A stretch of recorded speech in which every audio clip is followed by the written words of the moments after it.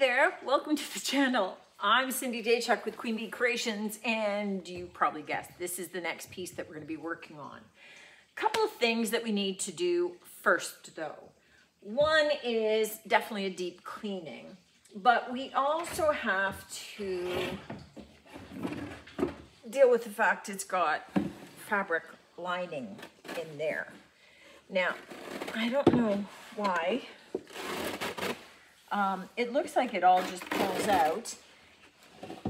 The bottom piece is painted, but I have to get rid of this kind of, it's not even velvet, it's kind of like a stretch acrylic something.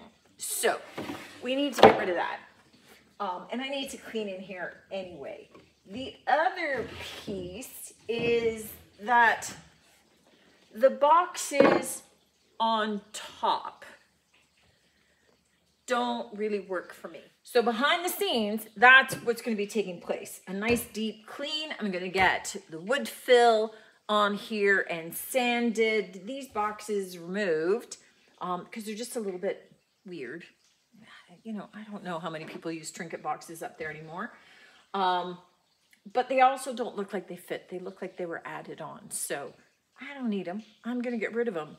And uh, once we're ready to go, you can take the hardware off and uh, I'll come back and I'll show you what we're gonna do. This piece I'm specifically pulled from the back stash to be able to use with one of the new Roycycled decoupage papers and I'm very excited to get started on this. This is all washed. Now, the top has not been cleaned yet because I'm still waiting to sand. I need the wood filler to dry. But while I'm waiting for that to happen, I can carry on with this piece because we're gonna decoupage on the front. Now, the piece that I have is 30 by 20.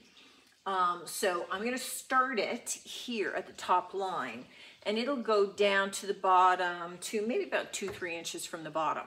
It's not, it's gonna come over about this far. No, it's, I think I, I counted 30 and it's going to be less, but I'm using these lines as the middle marker, right? So if I'm looking at 20 inches, it's going to come to about just past this middle knob here, right? It'll come to about here, 10 by 10-ish sort of idea. Yeah, just before the knob here. So it'll be to about here. So it's going to be kind of centered here. So a couple of things about the decoupage paper that I'm going to do um, to get ready for it is I am not going to tear the top edge because it's going to be right along this upper edge of the um, drawers. So I'm going to leave that flat. But the edges here, I don't want to leave them flat right? Nice and straight because it's gonna be, it's just gonna look pieced right in there. And I want it to look a little bit more organic. I want it to fit into the piece a little bit more. So I'm going to tear those edges so they are not smooth. And the same along the bottom because it's gonna be about two or three inches higher than the bottom of the dresser. So the three edges I'm going to tear.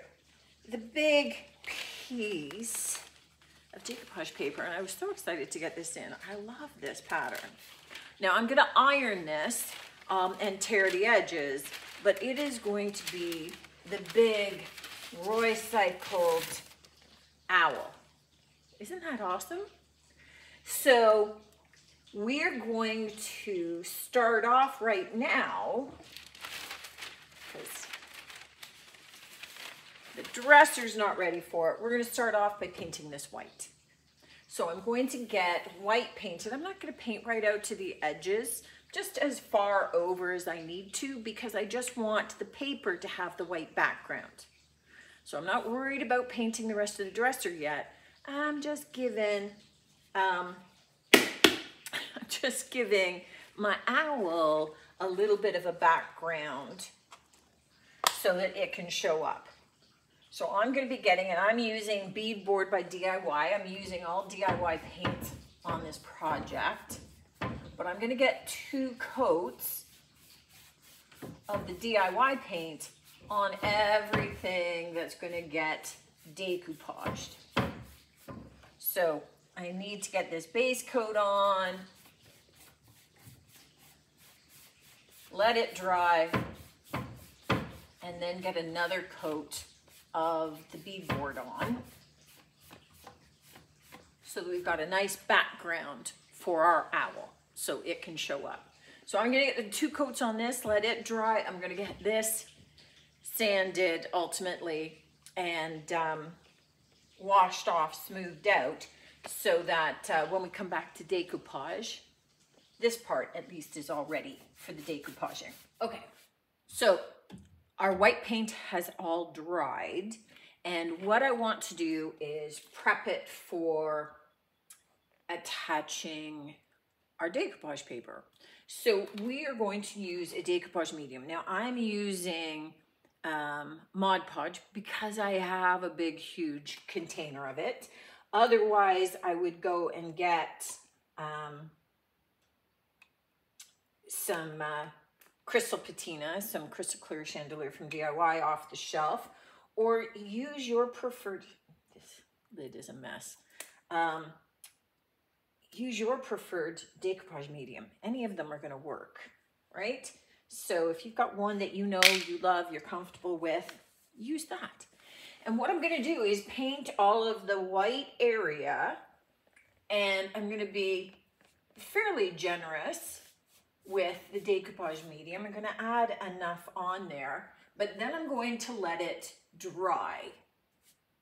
So we're gonna be using the iron-on method because I'm gonna be attaching the whole sheet and I want it to have an opportunity to dry relatively smoothly. I'm not going to agonize over it because I am going to do some distressing and this piece is going to have a lot happening to it. So I'm not too concerned if I have some ripples, but overall, overall, I'd like it to be fairly smooth. So I'm going to get all of this on and I'm going to let it dry and then we'll come back and we'll start attaching our paper to it. Our decoupage medium is dry. And what I am going to be looking at doing is just roughly attaching this onto the dresser. I don't have to have a perfect fit. I just need kind of an approximation um, for me to carry on. Now, what I have done is I still have just a little bit of a marking at the top in the middle. So I can sort of line this up because I know it's coming across here and I can just roughly center it. And just to have that, it's so cute, isn't it? I just love this. All right, so what I'm going to do is use the iron-on method to decoupage this. You can see kind of those rough edges so that we can kind of feather in some of our paint. To do this, and I'm just waiting for this to get a little bit warm, I have some parchment paper and I'm putting this over as I look to iron this on. The iron is going to reactivate that Mod Podge, that glue in essence. So the parchment paper protects my iron. So if there's glue that's coming up through the paper, it's not going to stick all over my iron. And it also means that I'm also serving to protect my paper. I'm not looking to necessarily decoupage this perfectly in place. All I'm looking to do right now is to get it to roughly hold in place so that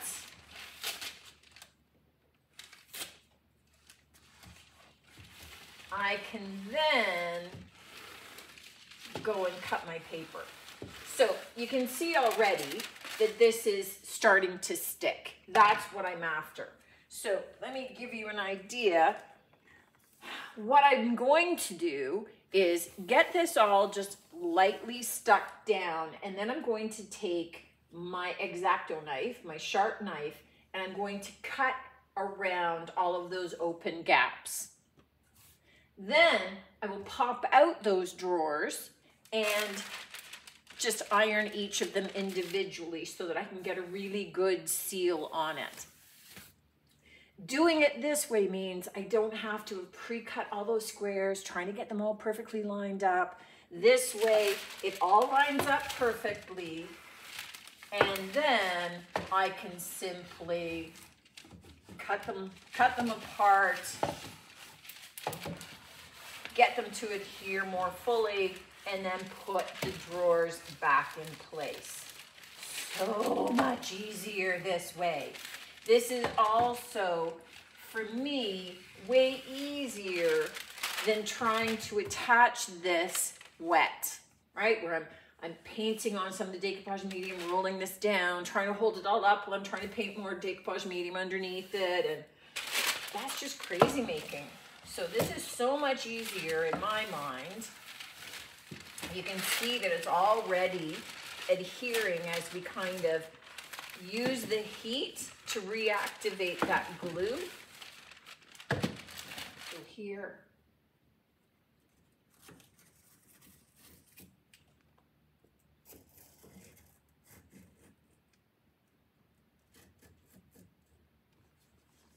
easily cut it out.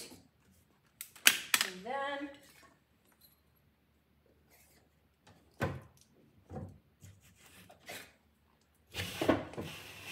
can just remove that drawer and then I can just more fully adhere that paper. Now I can really do a good job ensuring that it adheres.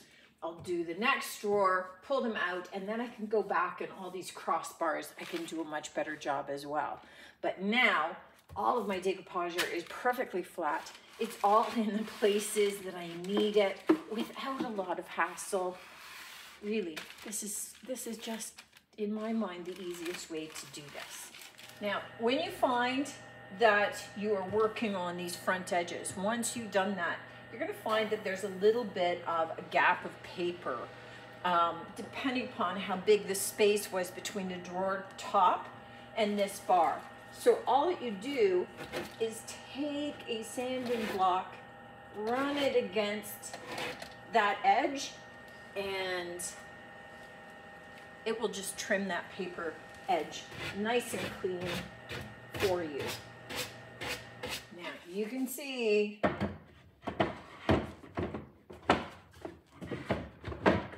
my goodness, there we go. All my paper lines up perfectly doing it this way.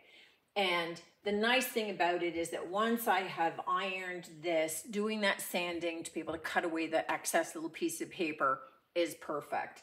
And don't forget to do that around the drawers too, because sometimes there may be some excess there. So you want to have a nice tight fit. And then I do make sure after I've sanded that, I go over it with my, with my paper and my iron, curving my iron over the edges to make sure that all those edges are attached because if you've got a little bit of lift happening, it's going to be all the edges. So I pay extra close attention to all of those edges to make sure they're on there nice and firm. Now, this is open. It means it's just paper. I haven't sealed it. Um, so any painting is going to impact it. What I want to do, um, because I'm likely going to be doing some sanding and distressing of this afterward and you know, if I get any raising. So I don't want, I'm gonna be using a fair bit of water on this piece. I need to seal it. To start with, I don't wanna put um, a ton of sealer on it. I don't want to um, take my brush and or sponge and, and do a polyacrylic right over top of it. What I am gonna take is a clear polyacrylic spray. I'm using Rust-Oleum Painter's Touch. You could use whatever kind you have. But all I'm going to do, and that's it. I'm gonna lightly mist it. And I'm gonna do that. I'm doing this at the end of the day because it's stinky and it bugs my head. Um, but I'm gonna give that about a minute to kind of dry I'm going to do another coat, give it a minute, do another coat. So I'm going to, and then I'm going to run. and then I'm going home for the evening. but I'm gonna get about four super, super light coats on this, just so that um, the paper is kind of protected, but doing it really lightly like that means I don't get any of the bubbling, which is what I want. I want this to stay nice and flat. If I end up getting some of that bubbling happening, I will let everything dry. I will put my parchment paper over top and I will iron it again. Now, it means it will reactivate any polyacrylic that's on the top. You definitely need this because it will start to kind of stick. You can slide that off easily, but I mean, this is already dry. It's ready for another coat. But three or four of these at least before I go, so then I can carry on tomorrow with the painting, which is gonna be exciting. This has had all of its protective coating put on it, and now it's time to start painting the rest of the dresser. I envision doing a lot of color on this, and in fact, kind of playing up the dripping look that's on here with the rest of the piece.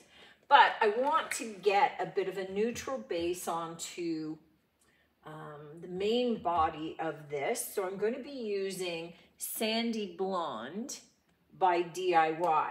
The top, however, is going to be in Bohemian Blue, which let me see if I have something I can open it with here, back here. Oh my goodness, tools all over the place.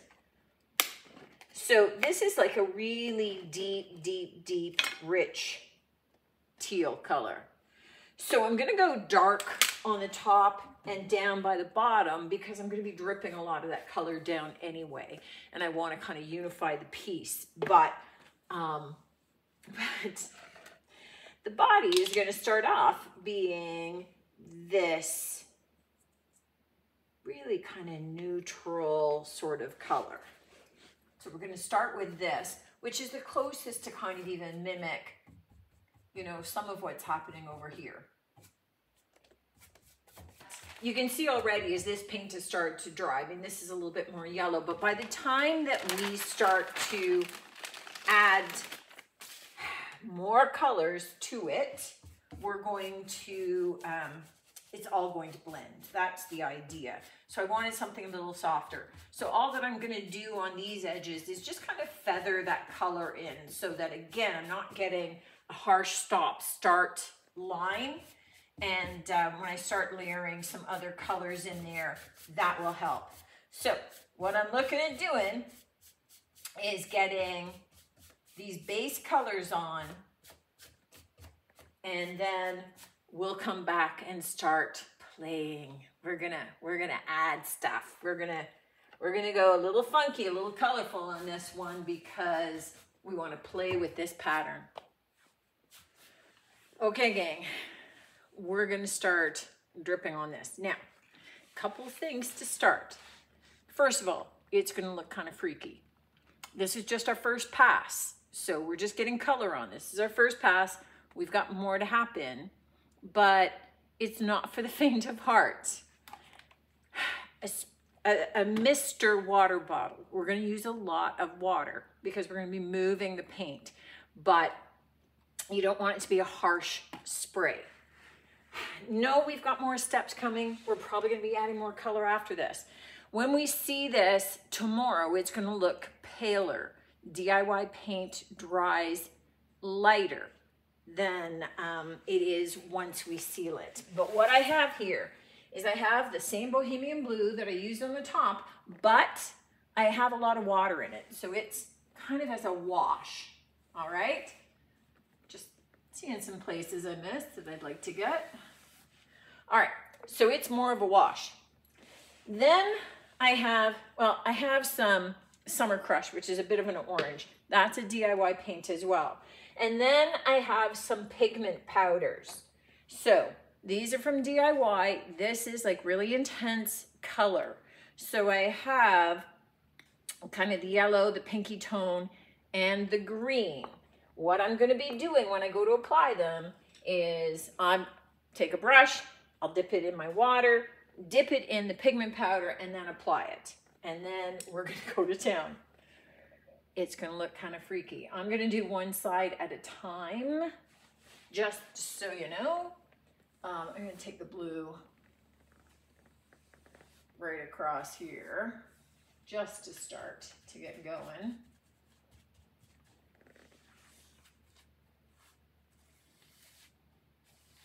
Get that in there. And I'm gonna start here and you'll see, you'll see how it goes. So first I wanna get some of my um, other colors on here, okay? So a little bit of some of these pigments. That's a bit of a blob there. And I gotta tell you, there's no real rhyme or reason to this. It's just, you know, we're just getting it wherever. So there's some green. I'm gonna put the lid on before I kick this over and get this powder everywhere. I'm gonna get some yellow. Let's get a little bit of this.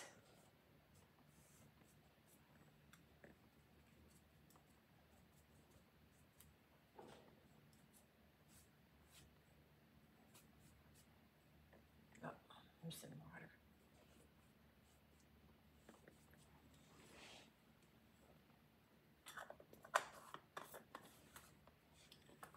And then a little bit of the pink.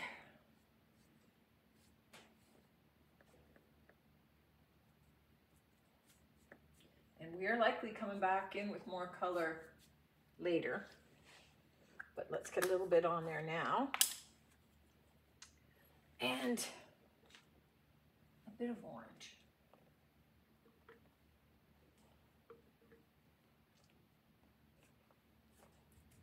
Okay, looks very artistic, does it not? Now, our wash. So I'm just going to be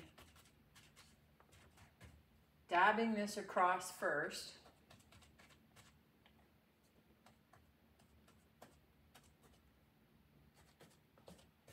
Let me get it in a couple of other spots so I have enough to get to the bottom. And then we're gonna mist.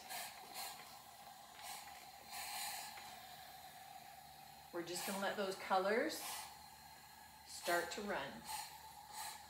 I will clean the drawers out later, so don't start worrying.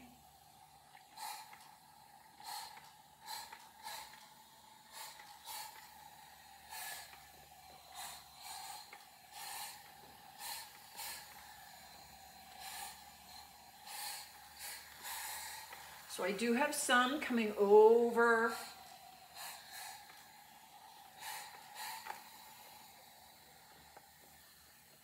So here I just need to get some of these breaks.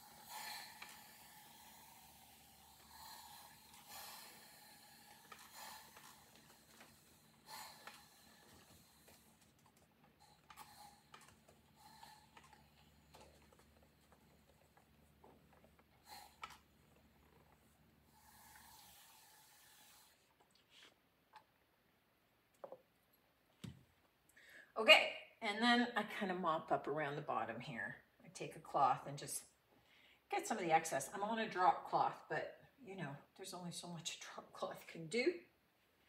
And I'm gonna let this dry. I'm gonna let this set up like this.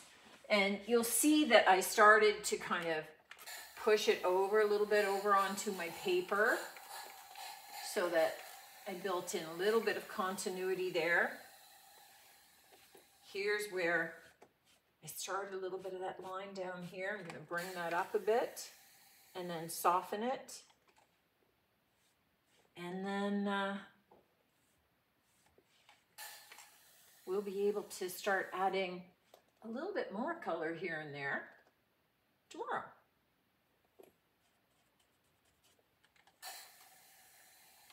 Anybody scared yet?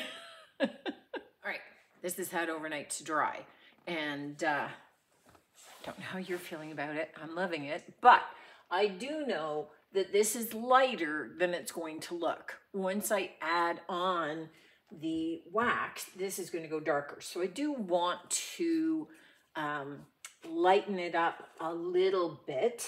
And I have this color, Cake Batter um, by DIY. What I am doing is dropping a little bit of it into a cup with water. So I want to lighten a little bit, but I don't want it to be um, full strength paint. I still want some translucency with it. And so I'm mixing this up and I'm just thinking I might want it.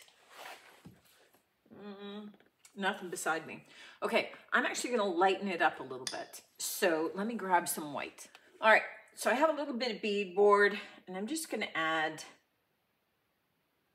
a bit of that in there as well. And don't be afraid to, you know, if you're looking at a color and saying, oh, that's a little bit darker than I want, or it's not as dark as I want. So you can see that kind of softened it up a little bit. And I have a really, really grungy chip brush. So that's perfect. I'm gonna take that chip brush, dip it in lightly, but I'm gonna offload a bunch of it. And I'm just gonna start kind of roughly adding a little bit of this in strategically in some spots, just here and there. So, you know, I'm looking at adding some of it, but very loosely, but just kind of lightening up here and there, adding a bit of that brightness to the piece. So I'm using very little paint.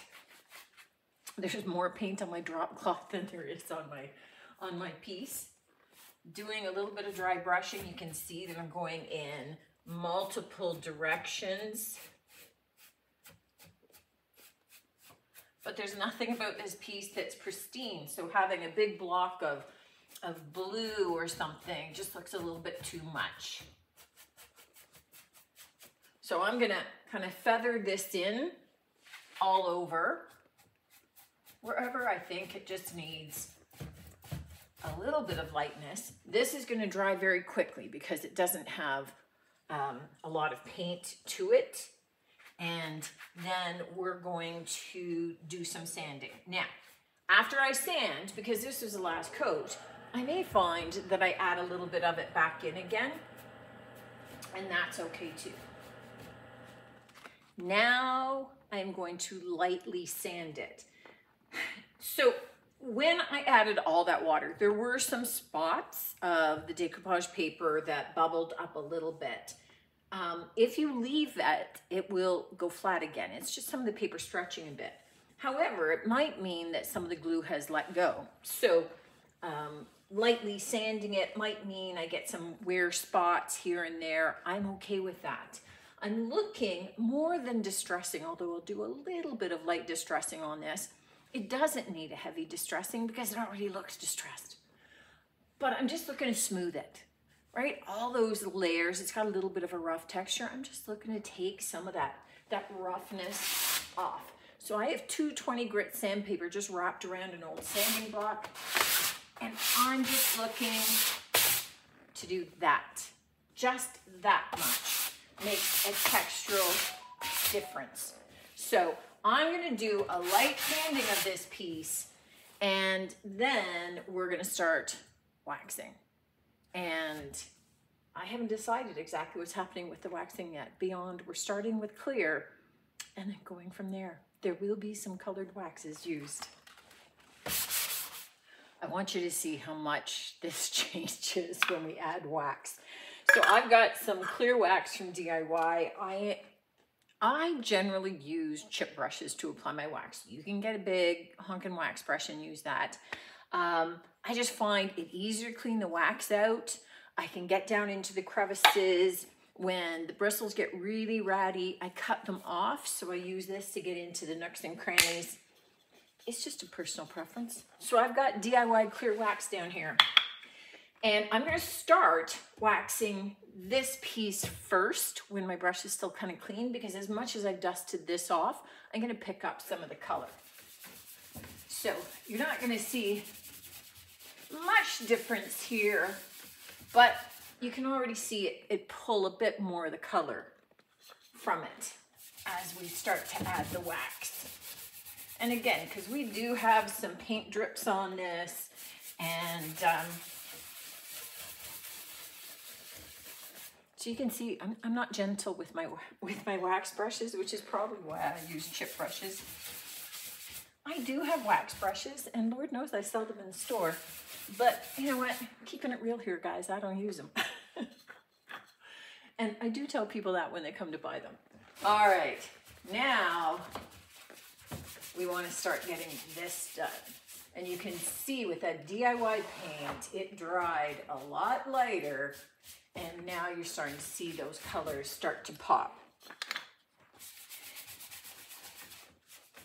And what I'm going to do is get the entire piece waxed, take a look, clear waxed. I'm not gonna rub it back, so I'm not taking the excess off yet. I wanna take a look at it. And then what I do have down here on the floor is I have black wax, I have brown wax, I have gold wax, I have turquoise wax I can grab, and I have my pigment powders. So those same powders that I used with water on this, I could then use those pigment powders in my wet wax. So I don't think off the top of my head that I'm adding a ton more color to this, but I don't know. It may end up going into a couple of strategic spots, but already you can see that color coming back. When it comes to dark wax, I prefer the black dark waxes, black waxes. I prefer using a stencil brush. So I get very little on my, my brush and then I use the lid to kind of wipe it off onto. And then I'm gonna use it. And you can see how quickly that starts to add some aging and some additional color. So I'm doing kind of edges and wherever I want to add a little bit of interest.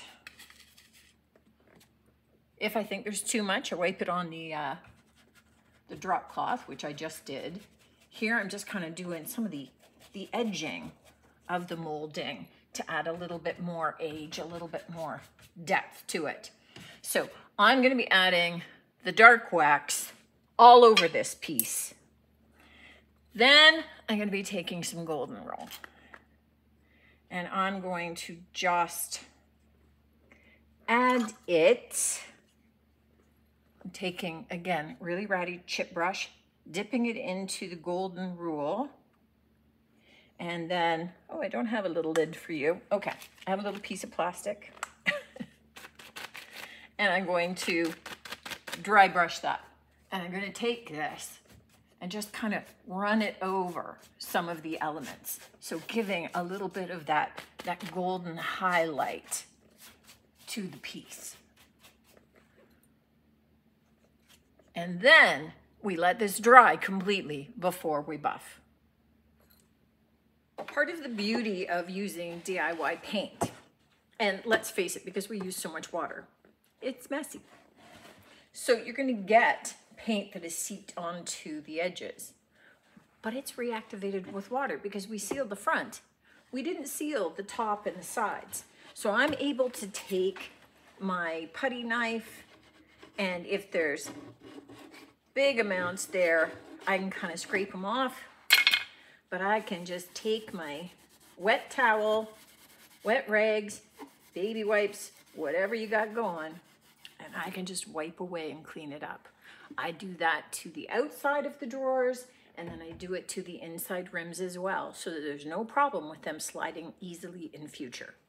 All right, I had to race it. My hair's still wet. I had to come into the shop just to be able to buff and finish this piece. I just couldn't let it go and uh, leave it. So I'm here on a Sunday just to be able to do that. Um, so a couple of things. This has been buffed. Um, and I used a little Milwaukee buffer because arthritis in the shoulders. So makes quick work of it, which is great. The hardware. Now, you probably don't remember, but this was the original hardware. And I had thought that once the piece was done, maybe I would be painting this blue, brush it with some gold, see how that goes. But I think it would have looked too heavy on this. There's a lot going on already. And so what I opted for were these little metal ones. Now, they were a little bit more gold than I wanted. So I actually spray painted them with flat soft iron by um, Rust-Oleum. This is from their metallics line. It's one of my favorites because it's not black, it's not silver, it's not gray, it's not anything. And then I lightly brushed them with gold, with the same golden roll that I applied but they're a different tone entirely. This is more matte, this is more gloss, and I love it because you don't really notice them much. You know, they add a bit, but you don't notice them too much. So I get this might not be everybody's cup of tea, but then when I do something with stripes and harlequins, that's not everybody's cup of tea. Or if I use transfers, not everybody loves transfers or not everybody loves florals. So even when I'm demonstrating something that might not be your thing, think about some of the techniques I used and how you might use that in something. Maybe you would never do a big dresser in using the dripping and the open time with paint that is not all in one, that does not seal, but it may be something that would be perfect on a small footstool or on a candlestick or a small that you're working on.